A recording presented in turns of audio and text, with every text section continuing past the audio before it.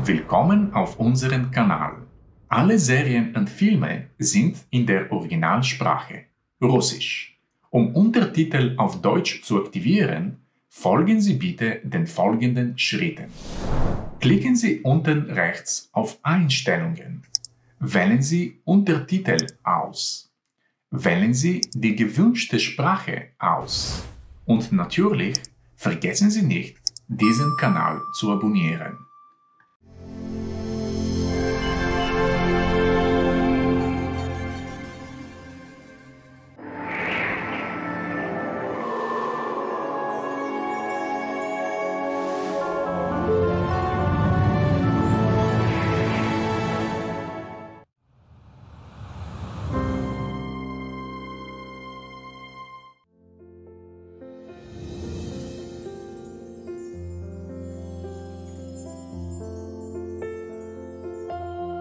Разве такое бывает? Или это морок, колдовство? На троне империи мечтательный мальчик. А за него правит его старшая сестра. Мудрая, справедливая, решительная. В комедийной хоромине царя Алексея Михайловича шло действо о византийской царевне Пульхерии, правительнице при малолетнем императоре – Вся царская семья, затаив дыхание, следила за происходящим на сцене. И только одной из царевин было не до забавы. На сцене она увидела свою воплощенную мечту. Откуда ей было знать, как далеко заведет ее эта мечта?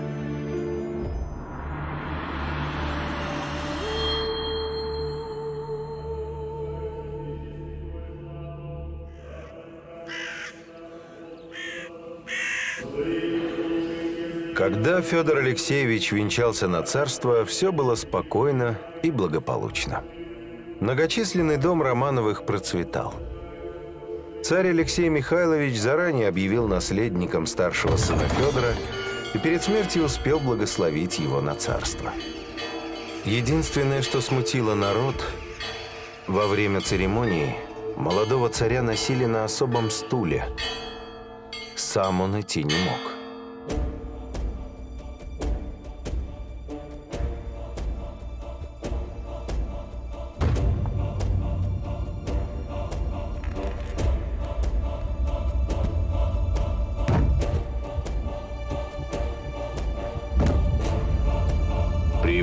Восшествии на престол многие почти не таясь говорили «не жилец».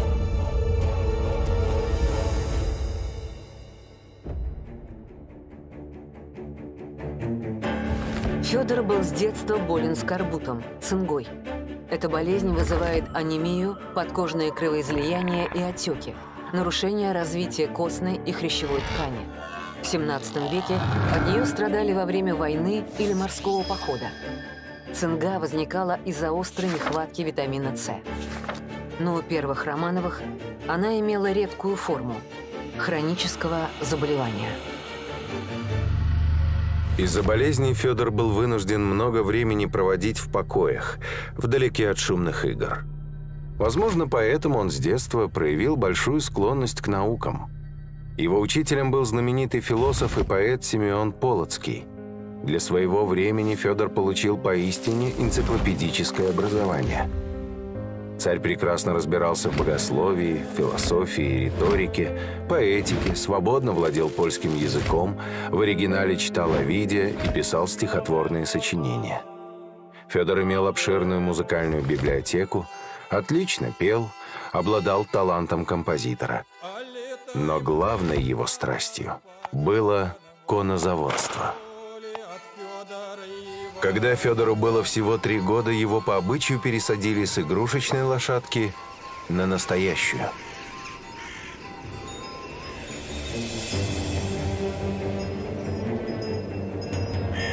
Мальчик был в восторге. Он увлекся всем, что связано с лошадьми. Лучшим подарком теперь для него был породистый конь. Родители надеялись, что занятия верховой ездой укрепят здоровье царевича. Но вышло наоборот. Свидетелем несчастного случая оказался близкий друг его отца, боярин Артамон Матвеев. Будучи на тринадцатом году, он однажды собрался в пригороды прогуливаться со своими тетками и сестрами в санях. Им подведена была ретивая лошадь. Будущий государь сел на нее верхом.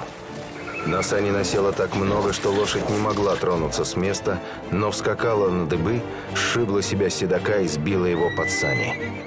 Тут сани всей своей тяжестью проехали по спине Федора Алексеевича и измяли у него грудь, отчего он теперь чувствует беспрерывно боль в груди и спине.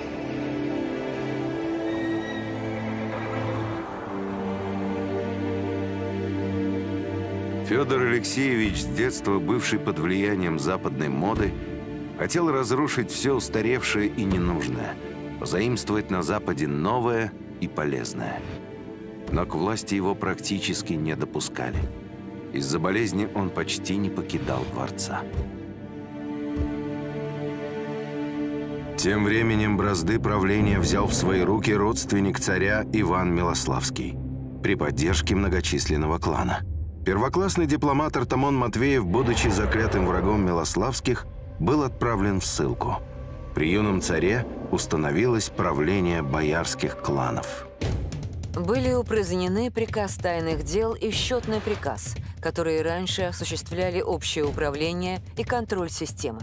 Иван Милославский забрал под себя два ключевых приказа – Большой казны, аналог Минфина, посольский, аналог МИДа и еще несколько второстепенных. Остальные приказы отдал под контроль своим людям, каждому по 6-7 учреждений, чтобы хватило прокормиться всем. За несколько лет количество приказов увеличилось с 42 до 60 а общее число чиновников с 882 человек до 2762. В государственном аппарате оказалось множество бездельников и казнокрадов, особенно среди друзей Милославского. Дела правления пришли в беспорядок.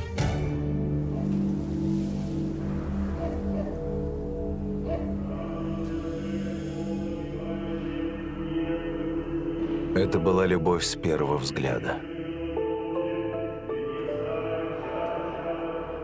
В день вербного воскресенья по Красной площади шел торжественный крестный ход. Огромная толпа оглазела на пышную процессию.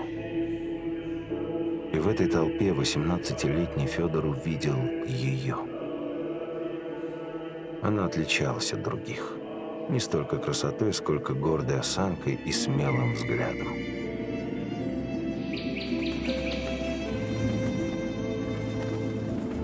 Девушку разыскали. Это оказалась Агафья Грушецкая, дочь смоленского шляхтича, которая сиротствовала в доме дяди.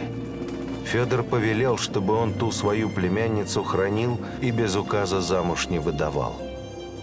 Но безвестная и худородная Грушецкая в роли царицы никак не устраивала Милославских. С ее появлением рушились все планы расстановки сил при дворе. Спустя полвека историк Василий Татищев, проведя расследование, выяснил. Умыслил Иван Милославский государю оную Агафью тяжким поношением омерзить, представляя, что мать ее и она в некоторых непристойностях известны.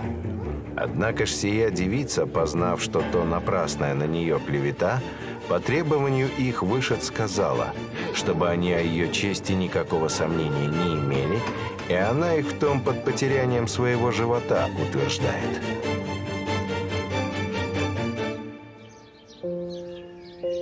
Ободренный этой новостью царь захотел вновь тайно свидеться со своей избранницей. Он поехал гулять на Воробьевы горы, а по дороге будто бы случайно проехал мимо дома Агафьи. Родня показала Федору Алексеевичу любезную ему девицу в окне светелки. Их взгляды встретились.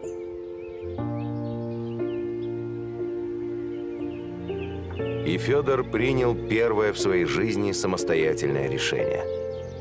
А злокозненного Милославского велено было спустить с крыльца и при дворе отныне не принимать. Для соблюдения протокола фиктивные смотрины невест были все же проведены. Каждый из участников этого спектакля знал еще до его начала имя победителя. И жених, и невесты, и устроители.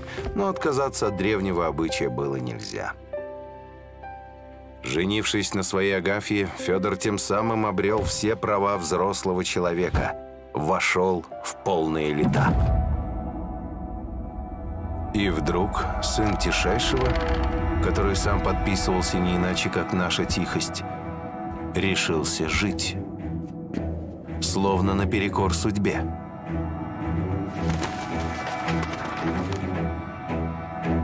Наступило время править. Первым делом царь Федор Алексеевич издал именной указ, обращенный к Боярской думе. Боярам, окольничьим и думным людям съезжаться вверх в первом часу и сидеть за делы. Первым делом была запущена налоговая реформа. Вместо многочисленных сборов вводилась одна фиксированная подать на содержание стрелецкого войска. С одного двора в год причиталось 90 денег, стоимость 72 килограммов зерна или 26 килограммов говядины. Острая нужда в наличных вынудила царя ввести возможность откупа косвенных налогов, что существенно пополнило казну государства. В 1679-80 финансовом году из прихода в 1 миллион 220 тысяч 367 рублей 53% дали таможенные и кабацкие сборы, 44% – прямое обложение и 2,7% – мелкие пошлины. Следом была проведена перепись населения. Перепись 1678 года выявила 5 миллионов 600 тысяч человек – Учитывалось лишь податное население и только на территории коренных русских уездов. Если учесть все остальное население, и народцев, население Сибири и казачества, то в стране проживало около 12 миллионов человек.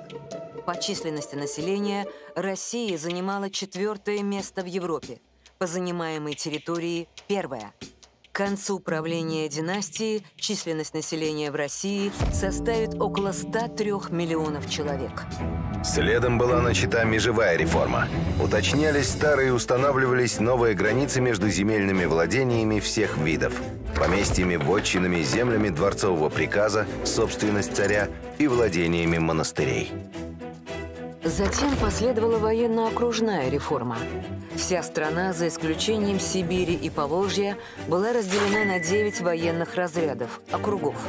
Из служилого населения каждого разряда формировались отдельные полки. На этой основе спустя 20 лет брат Федора, Петр I, построит новую армию новой страны. Для устранения несправедливости возобновил работу челобитный приказ – Лицо любого чина и звания могло жаловаться также в расправную палату и лично государю. Узнав однажды, что придворные в Челобитных стали уподоблять царя Всевышнему, Федор возмутился. И то слово в Челобитных писать непристойно.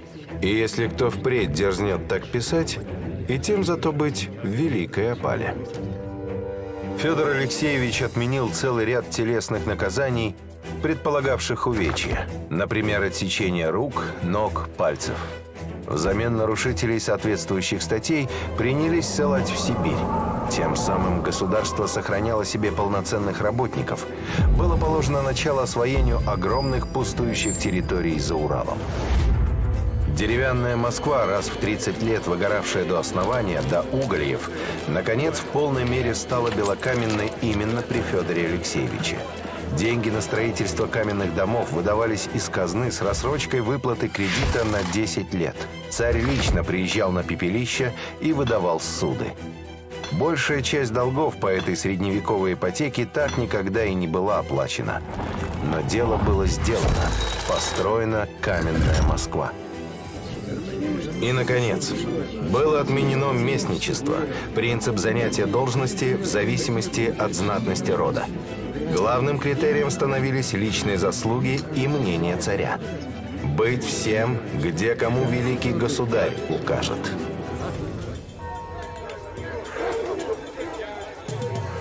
В сенях царской передней палаты в присутствии митрополитов и епископов были торжественно сожжены разрядные книги, содержавшие в себе специальные сведения о всех боярских родах. Отныне родовая ответственность уходила в прошлое, уступая место ответственности личной. Федор Алексеевич торопился изо всех сил. Он ввел при дворе польскую моду. Особо смелые стольники даже начали брить бороды.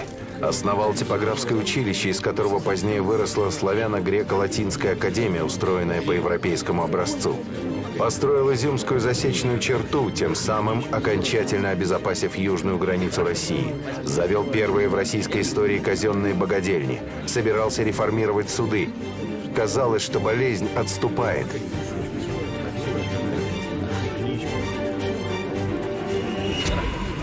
Но Федор понимал, времени у него очень мало. А он собирался еще так много сделать. Большую же часть времени и денег отняла очередная война. На этот раз с турками и крымскими татарами. Без искусного дипломата Матвеева, который все еще был в ссылке, военного конфликта избежать не удалось. 1677 году 100-тысячная крымско-турецкая армия вторглась на территорию Украины. Ей противостояла русско-украинская армия общей численностью около 57 тысяч человек. Несмотря на почти двукратный численный перевес, турки потерпели поражение. Через год 200-тысячная турецкая армия была отбита 120-тысячной русской, но русские полководцы не сумели развить успех. В 1681 году был заключен Бахчисарайский мирный договор между Россией, Турцией и Крымским ханством сроком на 20 лет.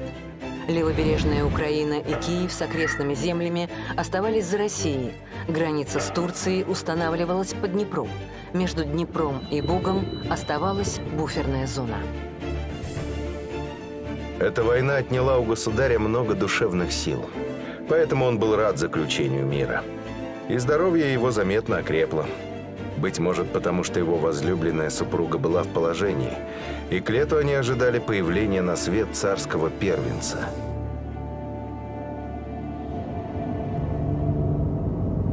Но счастье продлилось недолго.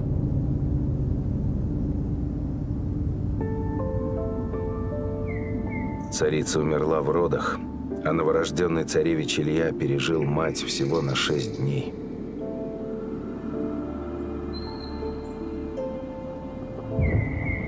Федор так и не смог оправиться от этой потери. Его состояние стало ухудшаться с пугающей быстротой. Понимая, что нужен наследник, через некоторое время Федор согласился на второй брак. Невестой стала 14-летняя Марфа Апраксина. Во время венчания Федор сидел, стоять сил уже не было. Через два месяца после свадьбы, немного не дотянув до 21 года, он умер, не успев отдать распоряжение о наследнике.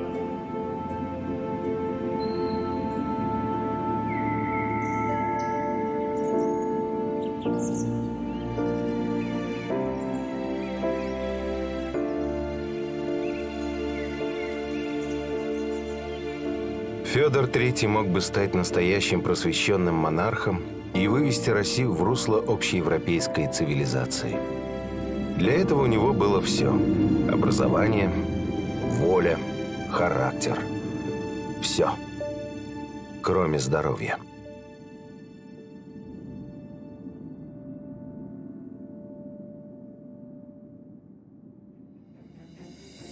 Всего за шесть лет правления Федора Алексеевича была создана основа для самой мощной в мире регулярной армии. Учреждена система социальной поддержки и трижды снижались налоги. На тысячи верст расширилась территория страны. В невероятно короткие сроки отстроена в камне столица. Заложены основы системы светского образования. Федор уже одобрил проект создания университета, но подписать указ не успел. Его смерть ожидали. Одни с надеждой, другие со страхом. Опустевший трон открывал дорогу во власть двум боярским кланам – Милославским, родственникам покойной царицы Марии, и Нарышкиным, родственникам здравствующей царицы Натальи. Весь вопрос был в том, кто быстрее добежит до трона. Кандидат от Милославских, царевич Иван, 15 лет, полуслепой и в целом очень больной человек, или кандидат от Нарышкиных, царевич Петр, здоровый и умный, но всего 10 лет от роду. Через час после кончины Федора Боярская дума при активной поддержке патриарха Иокима провозгласила царем малолетнего Петра Алексеевича. Клан Нарышкиных вырвался вперед. Для всех дворцовых обитателей это означало, что одни верхние бояре сменились на других. Но для одного человека это было крушением всех надежд.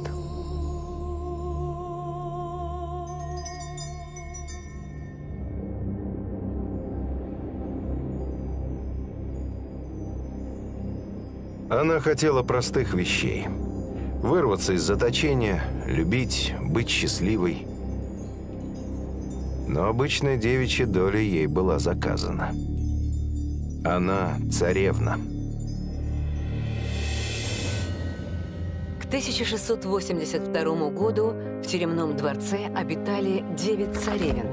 Анна, Татьяна, Евдокия, Марфа, Софья, Екатерина, Мария, Феодосия и Наталья.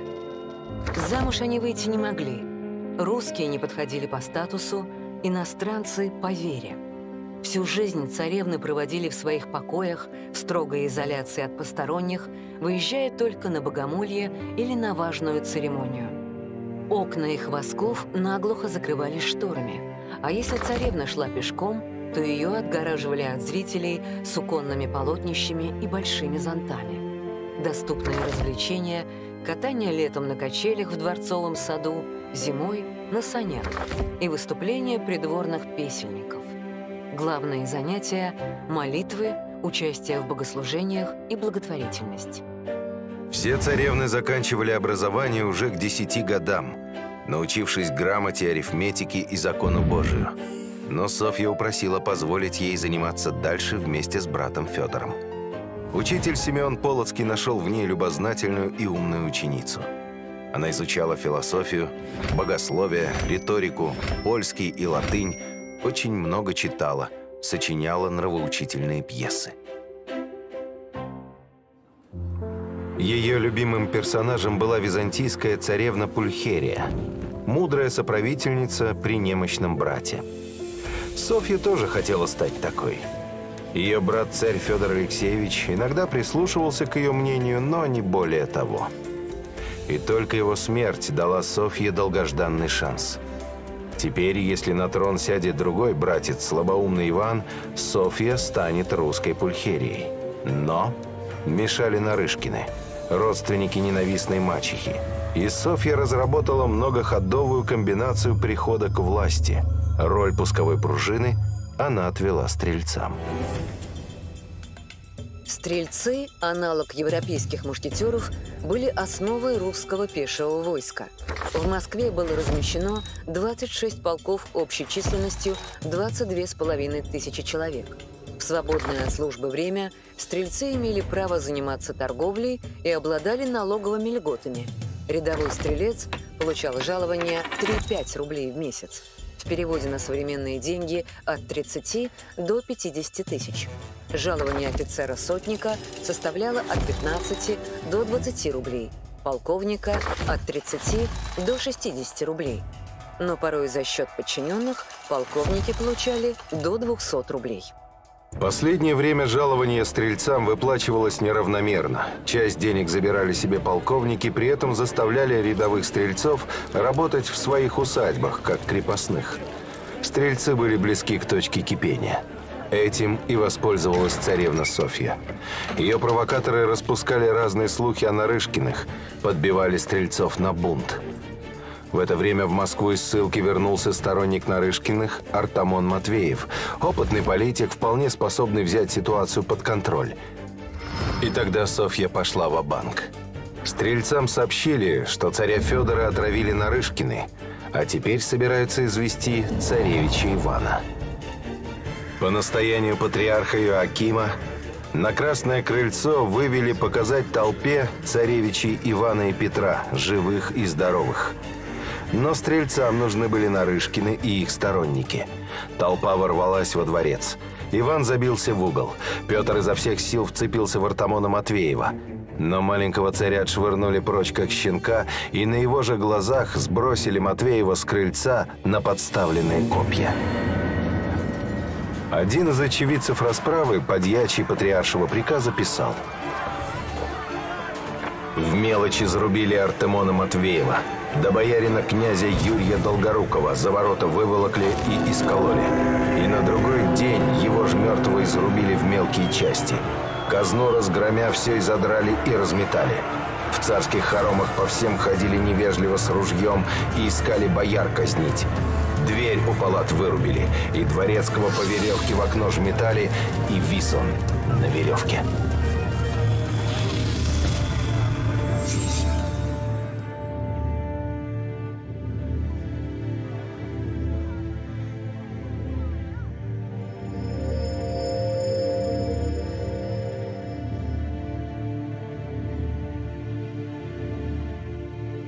Бойня продолжалась еще три дня. Были убиты братья царицы Афанасий и Иван Нарышкины, боярин Языков, глава стрелецкого приказа князь Михайло Долгорукий, глава посольского приказа Дьяк Иванов, царский лекарь Иоганн Гутменш. Всего около ста человек. 19 мая стрельцы потребовали уплатить им все долги за 40 лет в размере 240 тысяч рублей – 23 мая поступил новый ультиматум – на престол посадить двух царей – Ивана и Петра. И, наконец, 29 мая последнее требование, завершающее эту многоходовую игру. До совершеннолетия царей регентом при них сделать царевну Софью –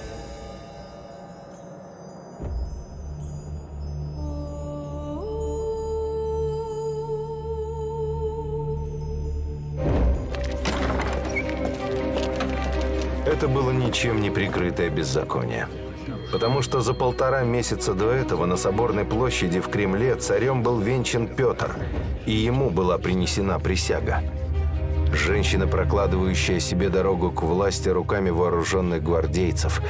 В истории России Софья не будет последней на этом пути, но уж точно останется первой. Софья понимала, что положение ее крайне непрочно – Завоеванную власть нужно было еще как-то удержать. Первым делом она распорядилась полностью выплатить стрельцам все долги по жалованию. Для этого была переплавлена часть серебряной посуды из царской сокровищницы. Затем Софья рассадила на все ключевые должности своих людей. Посольский приказ МИД возглавил ее фаворит князь Василий Голицын. Стрелецкий – рейтерский и большой казны, то есть Минобороны и Министерство финансов, князь Иван Хованский по прозвищу Тараруй, то есть Балабол. Хованский быстро понял, что стрельцы – серьезная сила, что правительство их боится, и вознамерился зайти на трон на стрелецких копьях. Так началась Хованщина. Безумное лето 1682 года – когда Москвой правила стрелецкая хунта во главе с Хованским. Город был фактически оккупирован собственной армией. Но царевна Софья не для того начинала свою опасную игру, чтобы делиться властью с кем бы то ни было. Благо, стрельцы были не единственной военной силой российского государства. Настала очередь дворян. В светлый праздник Преображения Господня под предлогом посещения крестного хода в Донском монастыре Софья Алексеевна покинула стены Кремля. Но вскоре вазок свернул с дороги и окольными путями двинулся в село Воздвиженское, близ Троицы Сергиева монастыря. Там Софья расположила свою временную резиденцию, чтобы в случае чего отсидеться за его стенами – разослала письма по многим городам с описанием стрелецкой крамолы и бунта. Теперь оставалось только ждать сбора дворянского ополчения. В конце 17 века дворянское ополчение или поместное войско насчитывало 14,5 тысяч человек, 10% от общей численности войска. Состояло из представителей дворянства, которые за службу получали земли. Помимо воинских сборов, обязаны были являться на ежегодные смотры конно, людно и оружно – то есть на коне, со своим оружием, доспехами и в сопровождении нескольких вооруженных холопов. Основную часть войска, 77 764 человека или 50%, составляли полки нового строя – рейтеры, драгуны, гусары, значительная часть которых была иностранными наемниками.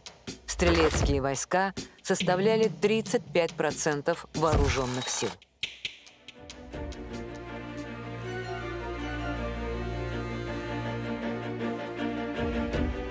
Время работало на Софью.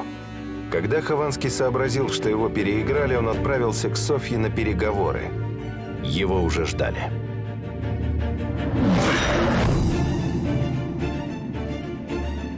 Царевнины стольники схватили его на постоялом дворе, сонного, и привезли к Софье в Воздвиженское 17 сентября, как раз в день ее рождения. Поставили перед царевной на колени – зачитали обвинение в измене и отрубили голову. Вместо него во главе стрелецкого приказа встал верный пес Софьи Федор Шакловитый.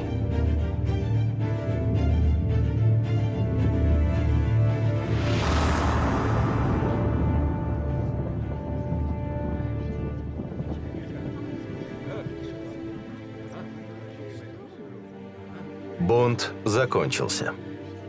Царский двор вернулся в Москву. Правительница и старший царь Иван обосновались в Кремле, а царица Наталья и младший царь Петр в загородной резиденции Преображенская. Село Преображенское на берегу Яузы. Территория 22 десятины или 24 гектара. Деревянный дворец 20-летней давности. Из всех загородных резиденций самая далекая от Кремля – Сразу за рекой начинается Кукуй или немецкая Слобода. Через год младший царь Петр соберет в Преображенском из дворовых и крестьянских ребят потешное войско, которое потом превратится в Преображенский полк, первый полк гвардии Российской империи. Установилось хрупкое равновесие. Царица Наталья с Петром на отшибе, царевна Софья с Иваном в Кремле – сходились вместе только во время важных церемоний. Для царей-соправителей сделали двойной трон со специальным окошком. Во время приемов иноземных послов царевичам подсказывали, как себя вести и что говорить. Петр, хоть и маленький, соображал быстро, а Ивану все давалось тяжелее. Как и многие мальчики, рожденные Марией Милославской, Иван Алексеевич был болезненным с детства. Водянка, цинга, общая слабость. Плюс задержка интеллектуального развития и очень слабое зрение. Он был вялым, равнодушным, ничем особым не увлекался и никакого интереса к власти не проявлял. Государством управляла Софья, советуясь со своим фаворитом Голицыным, который получил пышный титул. Большого полка, дворовый воевода, царственные большие печати и государственных великих посольских дел сберегатель. С одобрения Софьи Голицын составил фантастический по тем временам проект преобразования государства, которым опередил свое время без малого на 150 лет. Главным пунктом было освобождение крестьян от крепостной зависимости. Но проект не состоялся. Тогда подобное действие могло привести к большому дворянскому мятежу. Современники называли князя Василия Голицына не иначе, как «Великий», Убежденный западник, свободно говоривший на пяти иностранных языках, непревзойденный дипломат, человек энциклопедических знаний и государственного ума. Да еще и первый красавец Москвы. Софья была влюблена в него без памяти. Едва ли не каждый день писала ему нежные письма. «Я, батюшка мой, здорова твоими молитвами. А вы, свет мой, не стойте, и так вы утрудились». Чем вам платить за такую нужную службу? наипаче всех твои, света моего труды. И если б ты так не трудился, никто б так не сделал. Голицын призывал Софью продолжить начинание ее брата Федора, но Софья не вполне понимала их значение и размах. К тому же она не могла преодолеть сопротивление боярской оппозиции. Зато Софья открыла первое в России высшее всесословное учебное заведение – Славяно-Греко-Латинскую академию на базе училища, основанного ее братом Федором. Первыми преподавателями Академии стали знаменитые греческие ученые. Обучение делилось на 8 классов и длилось 12 лет. Основные дисциплины – греческий, латынь, грамматика, риторика, философия и богословие. Академия располагалась на территории Заиконоспасского монастыря на Никольской улице. В настоящее время ее здание занимает РГГУ – из Академии возникли Московский государственный университет имени Ломоносова, Академия наук и Московская духовная академия. К 1686 году подошло время продлевать мирный договор с Польшей. Усилиями канцлера Голицына и его сотрудников после долгих и трудных переговоров 6 мая в Москве был подписан так называемый «Вечный мир» между Россией и Польшей, венчающий внешнюю политику всего XVII века. Этот мир был очень выгодным для России. За русским царством окончательно признавались территории Смоленщины и Черниговщины, а также левобережной Украины, Запорожье и Киев. Но Вечный мир имел дополнительные условия – Россия вступала в антитурецкую священную лигу европейских государств и обязывалась воевать с крымским ханом, вассалом Турции. Голицын как мог пытался тянуть время. Он был против этой войны. Несмотря на это, Софья именно его поставила во главе войска. Она уже грезила громкими победами. Казалось, что маленькая победоносная война поможет ей закрепиться на троне. К тому же, какой женщине не хочется видеть своего избранника верхом на белом коне в сияющих доспехах, рыцаря без страха и упрека? Не успел Голицын уйти в поход, как вслед ему полетели Софьины письма. «Свет мой, братец Васенька, здравствуй, батюшка мой, на многие лета. А мне, свет мой, веры не имеется, что ты к нам возвратишься. Тогда веру заимею, когда увижу в объятиях своих тебя, света моего». В мае 1687 года стотысячная русская армия соединилась на левом берегу Днепра с донскими и запорожскими казаками и направились к Перекопу. Но степь оказалась выгоревшей, что полностью лишало конницу фуража. По слухам, степь жгли не татары, а запорожские казаки, которые не хотели усиления России. Поход пришлось прервать. На следующий год войско составило уже 150 тысяч человек. 15 мая состоялось единственное сражение, где татары отступили, и через пять дней русская армия подошла к Перекопу. Письма твои к нам все дошли в целости из-под Перекопу. Я брела пеше из Воздвиженского и не помню, как зашла, чла идучи. Бог свет мой ведает, как желаю тебя, душа моя, видеть. Но в Крым Голицын идти не решился. Сразу же за Перекопом простиралась безводная степь. Голицын предпочел обойтись без массовых жертв и вернулся, сохранив армию. Последнее, впрочем, было довольно условно. От жары и голода русская армия потеряла едва ли не половину своего состава. И это без столкновений с неприятелем. Итоги второго крымского похода были близки к катастрофическим. История не простила этого поражения князю Василию Васильевичу Голицыну. Впоследствии, отправляясь в ссылку, он с досадой узнал, что одним из главных пунктов обвинения стала именно эта злосчастная степная неудача. Все последующее за походами десятилетия Голицын провел в своем имении, отдалясь от двора. А непосредственно после крымской катастрофы он узнал, быть может, самую страшную для себя опалу сердечную. Пока Голицын воевал, его возлюбленная правительница Софья предпочла ему другого. Ловкого, безродного, циничного пройдоху Федора Леонтьевича Шакловитова. Чтобы угодить правительнице, Шакловитый вызвал в Москву знаменитого украинского художника Александра Тарасевича, который сделал парадный портрет Софьи в царской короне со скипетром и державою в руках на фоне двуглавого орла. Софье понравилось. По ее приказу портрет был гравирован на меди, отпечатан во множестве экземпляров и отправлен ко всем европейским дворам. К тому времени она уже присвоила самой себе титул. «Божию милостью, благочестивейшая и вседержавнейшая великая государыня, царевна и великая княжна отечественных дедичеств государыня и наследница и обладательница». Софья Алексеевна стала появляться на официальных церемониях и приемах послов не за спинкой трона, а открыто. Ее вдохновлял пример великой английской королевы Елизаветы.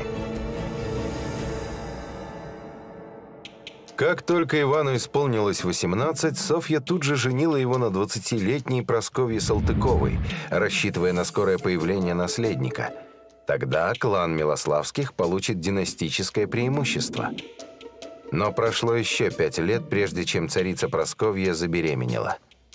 Тогда засуетились Нарышкины. Петру еще и 17 не исполнилось, как его спешно женили. Невесту нашла царица-мать.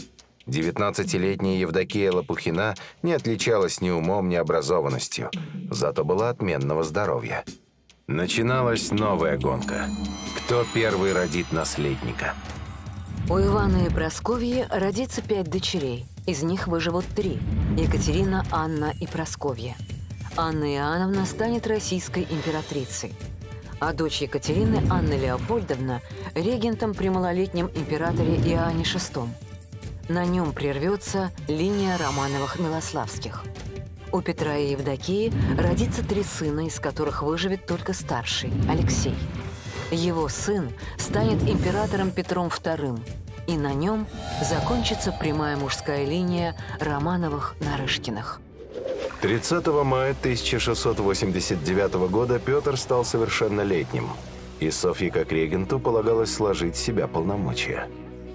Но она не собиралась этого делать. По ее приказу Шакловитый все лето вел подрывную работу среди стрельцов, чтобы с их помощью опять совершить государственный переворот. Собирал полковников, говорил, Нарышкины хотят царевну Софью и царя Ивана извести, а стрельцов разослать по дальним крепостям. Полковники охали, но на открытый бунт не решались. Тогда были озвучены гонорары за участие в перевороте. Рядовым 2 рубля – сотникам по 10, полковникам по 100, плюс право грабить дворы убитых. Напряжение нарастало. В ночь с 7 на 8 августа из Стрелецкой Слободы в Преображенское тайно прибыли гонцы. Доложить Петру, что готовится покушение на него и переворот. Понимая, что пришло время брать власть в свои руки, Петр отправил письмо брату-соправителю Ивану. Сестра наша царевна Софья Алексеевна государством нашим начала владеть своей волею. Ныне злодеи наши Федька Шакловитый с товарищи умышляли об убийстве нашем и матери. А теперь, государь-братец, настоит время царствия править самим, понеже пришли в меру возраста своего. А сестре нашей в расправе дел быть и не изволяем. Все равно, государь, при нашем совершенном возрасте, тому зазорному лицу государством владеть мимо нас».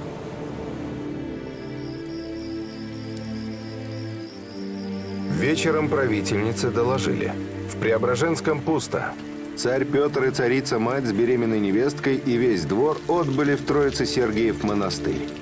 За Петром ушли два потешных полка, еще и стрелецкий полк под командованием полковника Лаврентия Сухарева.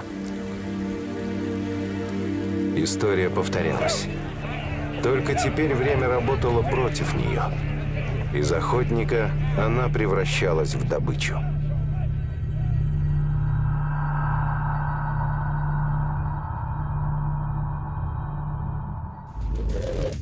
13 августа. Софья направила к Петру посла боярина Ивана Троекурова. Он вернулся ни с чем.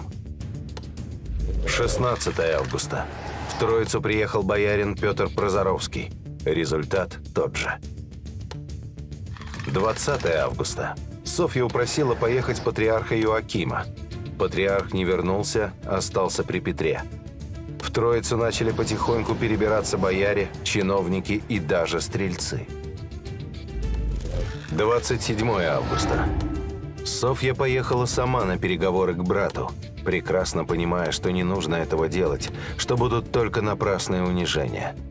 Но сидеть и ждать сил не было. В десяти верстах от Троицы Сергиева монастыря, в том самом селе Воздвиженском, где семь лет назад казнили Хованского, Софью остановил боярин Троекуров, тот самый, который еще две недели назад был ее послом. Он передал приказ Петра возвращаться.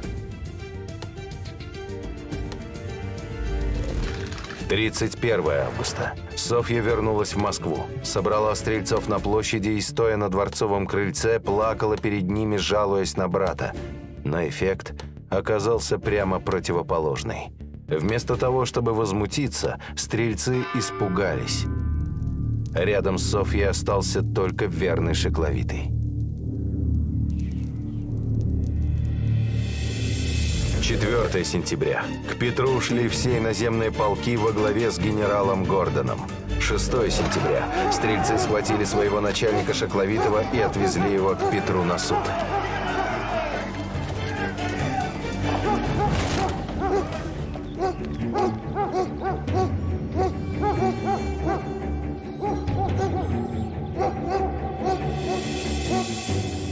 7 сентября. В Троицу приехал Василий Голицын. Петр его не принял и велел отправляться в ссылку в Каргополь.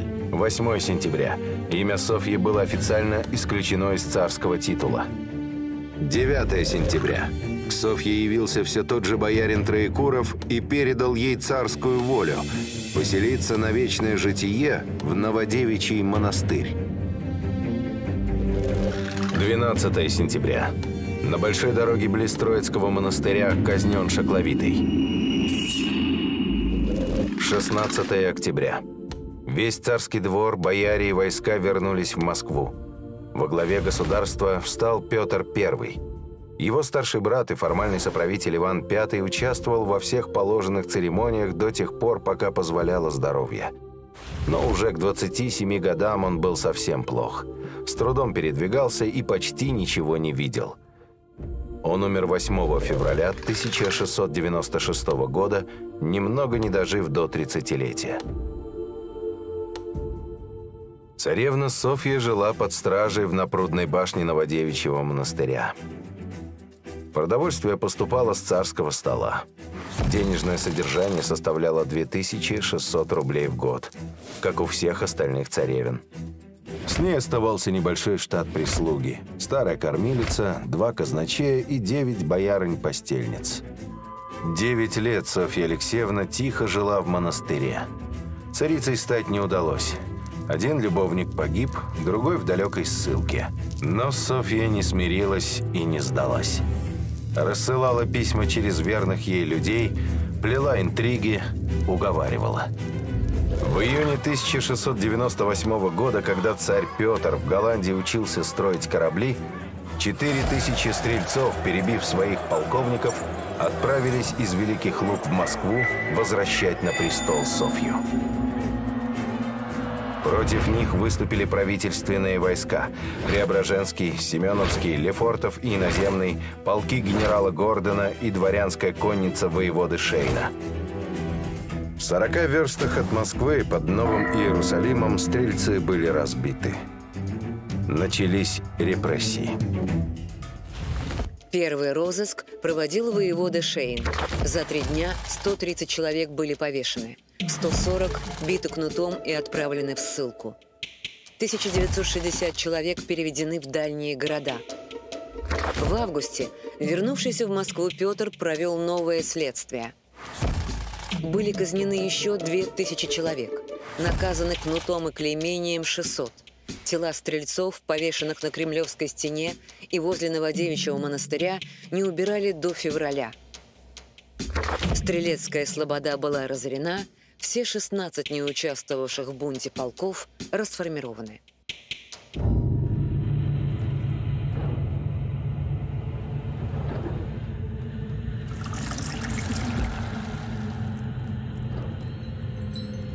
Царевна Софья была насильно пострижена в монахини с именем Сусанна.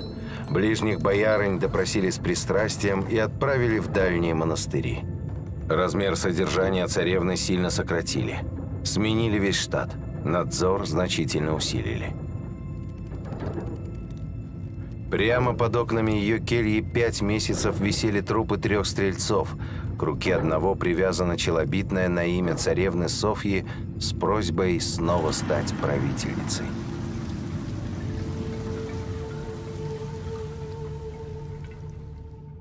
Она держала в страхе весь царский двор. Умела расположить к себе любого человека, могла вызывать и успокаивать бунты, заключила блистательный мир – и проиграла странную войну. Она мечтала стать настоящей правительницей, как византийская царевна Пульхерия из театрального действа, которое так поразило ее в юности. Она сумела воплотить в жизнь свою невероятную мечту, увиденную на сцене. Первая из русских царевин вырвалась из теремного заточения к женскому счастью и не женской власти. Но время женщин-правительниц в России еще не пришло. За 7 лет на троне, 15 лет в монастырской келье. Она умерла в 1704 году в возрасте 46 лет. Похоронили инокиню Сусанну на кладбище Новодевичьего монастыря. Никого из родственников на похоронах не было. Вскоре царский двор переместится на берег Холодного моря, в город Санкт-Петербург. История русского царства заканчивалась. Начиналась история Российской империи.